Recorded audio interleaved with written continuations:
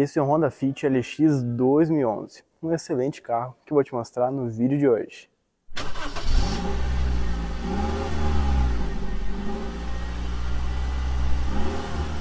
Esse Honda Fit você encontra aqui na Sim Automóveis de Rolante. Lembrando que o estoque completo você encontra aqui no primeiro link, na descrição do vídeo. E para levar diretamente esse Honda Fit para a tua garagem, é só clicar no segundo link ou no primeiro comentário fixado. E chegando aqui na fronteira do Honda Fit, não é o carro mais bonito do mundo, mas esse design aqui ainda é bem bacana, bem bonitinho. Porém, não contamos com farol de neblina, infelizmente. Vamos falar agora aqui desse motor 1.4.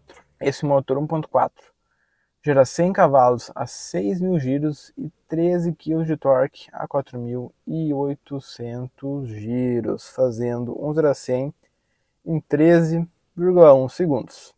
E chegando aqui no porta-malas do Honda Fit, porta-malas bacana, contamos aqui com 384 litros, iluminação e um acabamento bem interessante, bem acabado.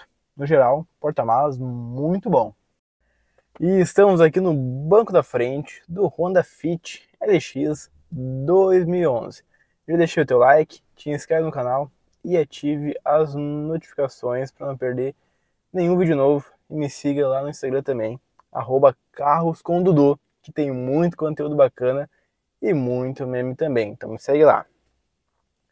Antes de falar aqui do volante do Fit, presta atenção nesse recado que o Murilo tem para ti, que está querendo comprar o teu carro, mas está sem grana. Fala aí, Murilo. Você que está pensando em comprar ou trocar seu carro ou sua moto, sem pagar juros, eu posso te ajudar com o consórcio da Elite Consórcios. Quer saber mais? Me chama no WhatsApp aqui embaixo. Isso aí, segue a dica do Murilo que é sucesso. Vamos falar agora aqui do volante do Honda Fit. Vem com o Dudu! Vamos falar aqui do volante do Honda Fit. Um volante bonito, né? Esse design aqui tradicional da Honda. Lembrando que contamos aqui com regulagem de altura e de profundidade, o que é bem interessante. Lembrando também que não temos nenhum comando de som aqui no volante, nada do tipo, afinal o carro era de 2011, então nem dava para esperar tudo isso. Mas o volante é legal, tem direção hidráulica também. Vamos falar agora aqui do painel de instrumentos. E chegando aqui no painel de instrumentos, o painel é simples, temos aqui velocímetro no meio, conta-giro à esquerda e ali do lado direito marcador de combustível. Ficou devendo apenas um marcador da temperatura do líquido de aquecimento que ficou devendo, infelizmente. Ali no meio temos um pequeno computador de bordo com odômetro total e um marcador ali de consumo. Bem básico mesmo, mas o painel é simples, mas é funcional. Aqui em cima, plástico duro, bem normal. Duas saídas de ar, convencional, pisca-alerta o rádio do carro. Temos aqui também um porta-treco. Depois, se quiser colocar uma central multimídia, tem espaço. Então, fica a dica, fica bem legal. E aqui, ao lado do volante, temos os comandos aqui do ar-condicionado manual do carro. Né? O ar é simples, mas gela bem. E é aqui do lado, bem diferente do que um ar convencional que fica todo aqui, né? Fica aqui nesse design bem diferentão, mas é legal mais alguns comandos ali do ar-condicionado, do desembaçador. Tomadinha 12 volts para você carregar seu iPhone 15 Pro Max, quase 16 Pro Max, né? Porta-trequinho, bem legal. E aqui nós temos o câmbio de 5 velocidades da Honda, um câmbio bem preciso, com bons engates, e a ré é aqui atrás. Detalhe que o câmbio tem ótimos engates, manutenção desse câmbio é bem tranquila, não costuma dar BO. Então, ponto positivo aqui para o Honda Fit também. Porta-trequinho, freio de mão convencional, porta-trecos aqui também e os dois porta-copos ali para quem vai ali atrás. Porta-luvas aqui com um bom espaço interno. Nós temos dois porta-luvas aqui, olha que chique, né? Dois porta-luvas, porém esse aqui tem um pouco mais de espaço interno.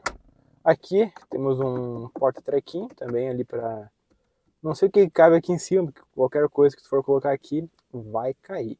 Detalhe que a gente tem aqui um porta-copos bem na saída de ventilação para tu ligar o ar e colocar tua água ali para gelar. Funciona muito bem e é uma ótima solução aqui do Honda Fit. Aqui em cima a gente tem parasol com espelhinho, as Illuminations, outro parasol com espelhinho. Lembrando que a gente tem alça de mão aqui para todo mundo, menos para o motor. Aqui na porta temos um tecido aqui em cima, bem legal, capricho bem interessante aqui para o carro. Aqui é um plástico simples, mais tecido. Quatro comandos aqui dos vidros elétricos, somente o do motorista é um toque. E também temos aqui botão para travar e destravar o carro e também bloquear ali, os vidros elétricos traseiros, né? Porta-garrafinha, né? outro porta-copo aqui, alto-falante. Aqui ao lado do volante temos os comandos do espelho retrovisor elétrico e aqui o mesmo esquema do outro lado, tá? Porta-copos aqui bem em frente à saída de ar. Super inteligente, quem pensou nisso realmente está de parabéns, porque o Fit, olha, tem umas soluções assim muito legais. E aqui nós temos também uma janelinha aqui, que obviamente não abre, mas ajuda na visão. Temos também aqui botões sem atribuição e ali os um, botões ali para abrir o porta-malas e o bocal de combustível. Eu tenho 1,85m e a condição é essa daqui. Me sobra aqui uns três dedos para raspar meu joelho no banco da frente, que foi... Eu tenho 1,85m e essa é a minha condição. Aqui me sobram uns três dedos para não raspar meu joelho no banco da frente, que foi regulado na minha posição de dirigir. Afinal, eu sou um cara grande, então o banco é bem para trás. Aqui para a cabeça, mais de um palmo que está sobrando, então tá bem legal.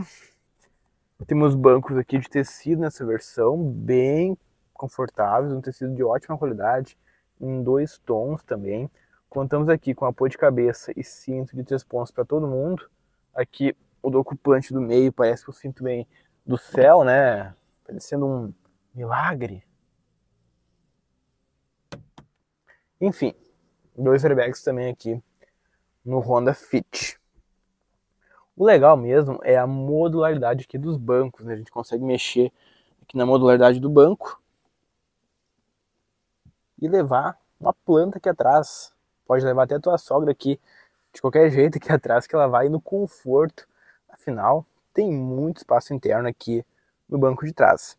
Enfim, tu consegue modular os bancos, levar, sei lá, um botijão de gás, um fogão. É, um botijão de gás não é tão interessante, mas dá para levar animal, enfim, muita coisa que eu não vou te aconselhar aqui, né? Porque não é tão legal ficar construindo coisas que não pode levar. Mas tem espaço aqui, então use a sua criatividade. Aqui na porta, tecidinho aqui em cima, bem legal. Aqui é plástico.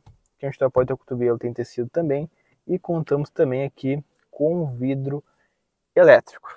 Aqui em cima a gente tem uma alça de mão que tem retorno triunfal. Olha que elegância. Aqui em cima a gente tem iluminação em LED, bem interessante.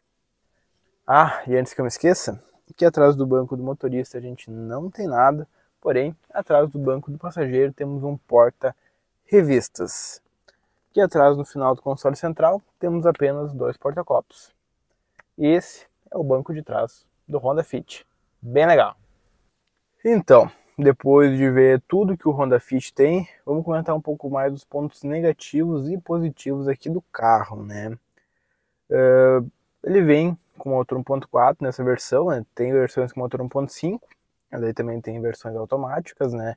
Lembrando que não é o câmbio CVT dessa segunda geração aqui, é somente o câmbio manual ou um conversor de torque convencional, o que acabou tirando um pouco do, do trunfo do Fit de ter um câmbio CVT excelente da primeira geração e da terceira, né? Na segunda geração aqui, ele vem só com o câmbio de conversor de torque e o manual. Nesse caso aqui, o câmbio manual. Mas é um carro que eu, eu curto, tá? Para mim ele tem uma, várias soluções inteligentes para quem tem família grande. Afinal, esse carro aqui tem um espaço bacana para quem tem filho pequeno, tem quatro, cinco pessoas. Tem a questão também da modularidade dos bancos. A gente consegue levar planta, animal ali atrás. Então, é só mexer ali, então, né, como eu mostrei antes, no banco, que a gente consegue ter um espaço bem bacana. E o espaço também de porta-malas é ok, né? Uh, para a média dos seus concorrentes.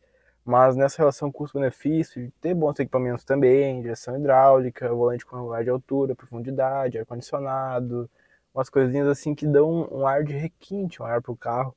Então acho que nessa faixa de preço dos 40 mil, acho não, tenho certeza, o Honda Fit é um excelente custo-benefício. Eu recomendo porque esse é um motor 1.4. Eu recomendo também por conta desse motor 1.4. Pode não ser, nossa, Dudu, que motor excepcional, muita força. Não, ele é motor para não passar trabalho. É 1.0 com alguns cavalos a mais, né? Como se fosse comprar um motor 1.0, só que com 80 ali, se não me engano, 80 cavalos, mais ou menos, sei. Na parte do motor, ele vem com 1.4, essa versão aqui, é o suficiente para o dia a dia, somente para tu não se estressar. Claro que é, a automática com esse motor 1.4 acaba bebendo demais e o desempenho também não é não é nada legal. Mas a manual consegue ter um desempenho legal, né? Legal, ok, né? Ok pro, pro segmento, né? Então uh, o desempenho é suficiente e o consumo também é interessante. Também não é um carro beberrão, consegue manter uma média legal ali de combustível. E no meu ponto de vista, o Fit é um excelente custo-benefício, tanto que minha nota para ele é só no final, depois do consumo, né? Tu achou que é a minha nota agora, né?